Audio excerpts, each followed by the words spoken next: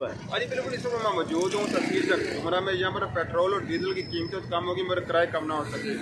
Urban बसें rickshaw व देकर जराए आमदरफ्त के मालकन जो है मन माने किराए वसूल करने लगे हैं जिससे शहरी बिलबलाव शहरी ने रबाब इख्तियार से अजमाश की है कि ट्रांसपोर्टरों को पाबंद किया जाए कि वो किरायानामा के मुताबिक जो है किराए वसूल करें। इस हवाले से जब हमारी बात ट्रांसपोर्टर से हुई तो उन्होंने ये कहा है कहना चाहते हैं कि हमारी गाड़ियों के अखराज बहुत ज़्यादा है।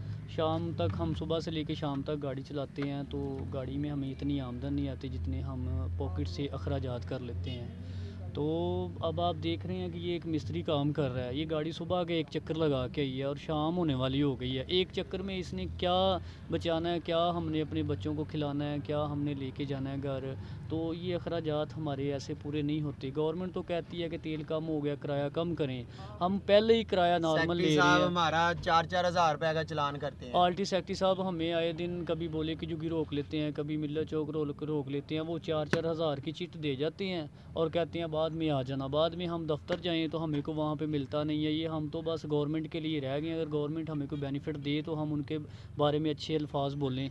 जब तक कि हमें गवर्नमेंट ने कुछ देना नहीं कोई बेनिफिट नहीं देना तो हम लोगों ने ऐसे ही धक्के ही खाने हैं। आपके सामने पाकिस्तान का क्या हाल हो चुका है? और